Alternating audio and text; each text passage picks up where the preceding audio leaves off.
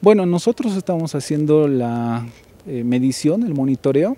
En esta temporada, pues en lo que se refiere a San Juan, el contaminante que más eh, se eleva su concentración es el material particulado y le estamos haciendo la medición antes, durante y después de, lo que va a ser la festividad de San Juan, obteniendo resultados eh, de concentración de entre 30 hasta 45 microgramos por metro cúbico en diferentes distritos de la ciudad del Alto. ¿no?